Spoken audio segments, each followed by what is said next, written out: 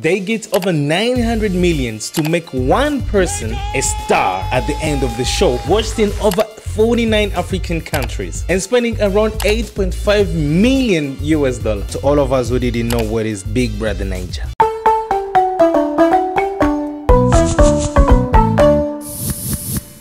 So I'll explain in easy way so that you can understand what's the Big Brother Naija. Because I didn't know about it also first and I was introduced to it by watching mostly the page of Mustafa Tunde Ednut on Instagram, which is like the most authentic page which gives me memes and updates about things going on in Nigeria. Okay, then what is Big Brother Naija? In this show, there are some guys who come called housemates, live together in a place locked that they can access to the outside world and the viewers will be watching them 24-7 when everything which they're doing or speaking is being broadcasted audio as video. And it's okay.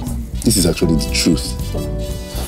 I like you. And viewers will be voting to decide who will stay in the house and who will go out. Erica, Yes, big brother. you are immediately disqualified from the Big Brother house. And everyone who participates has a price which is around 2,500 US dollar. But the winner at the end has a price of over around 100,000 US dollar. The winner of Big Brother Naija, shine your eye. That's money! Yeah! The winner of the Big Brother Naija lockdown season.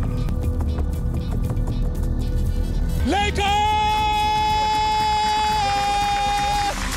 So a little bit of story of how this show became the biggest and the best in Africa. It was inspired by a Dutch TV show called Big Brother, which they simply adapted to Big Brother Naija, like the Nigerian version. It started in Nigeria in 2006, which came with a success of around 40 million viewers on TV. At that time, even social media didn't exist that much to make it go viral. And that was in South Africa, but after having a long gap of over 11 years, it came back in 2017 with a season 2, and still it was a banger, and it continued doing the same up until today in 2022. But since 2018, it's no longer in South Africa, it's in Lagos, Nigeria. It said that this show have given jobs to over 10,000 people every time with the best design of the house, of the people and everything and artists and filmmakers and a lot of there is just a lot of work going on here attracting so many brands which try to advertise themselves in this show which makes that they can have up to 900 million